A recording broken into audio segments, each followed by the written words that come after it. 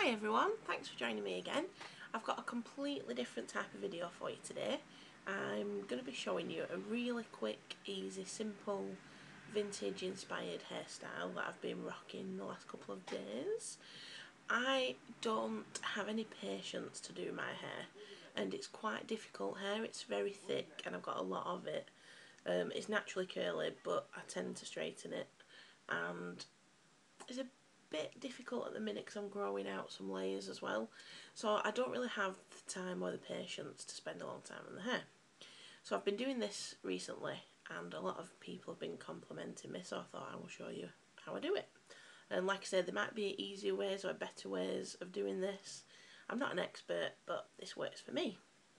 So the front section, you can either do a little quiff, a pompadour as they call it, or this little roll that I really like doing.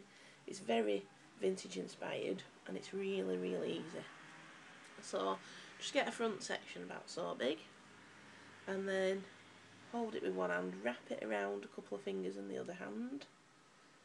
Make sure you get rid of the end bit because that can poke out. And then just clip that at the front. Right at the front. There That's really cute and you could just wear that with a lot of different hairstyles and it's it's just cute and easy. I like that. So then we get a scarf. This is just a normal cotton square scarf. I've got some of these in the shop actually. Nice spotty one.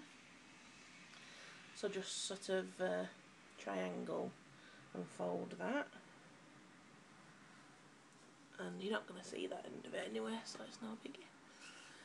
So just put that under the hair and then again it's good to stay as close to the front as you can really and bring it over. So it's the other side of the roll and tie that as tight as you can. And you've got your cute little bit sticking up.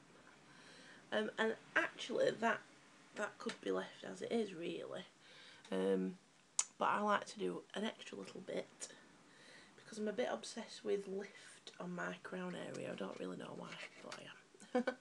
so I just, again you could backcomb and all that jazz, but I have no time or patience for such things.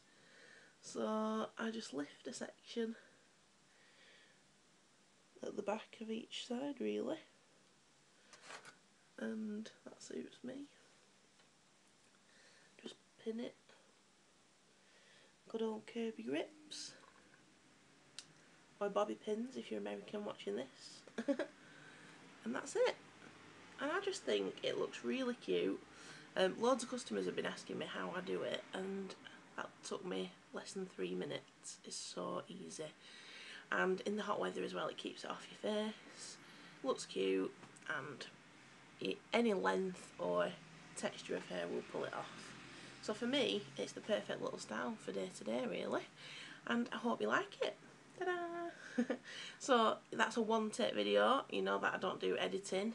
Um, it really is simple. If you've got any photos of this that you've recreated, let me have a look, I'd love to see. Um, and otherwise, if you've got any top tips for hair, let me know. That's quick and easy. And I'll see you again soon. Thanks for watching.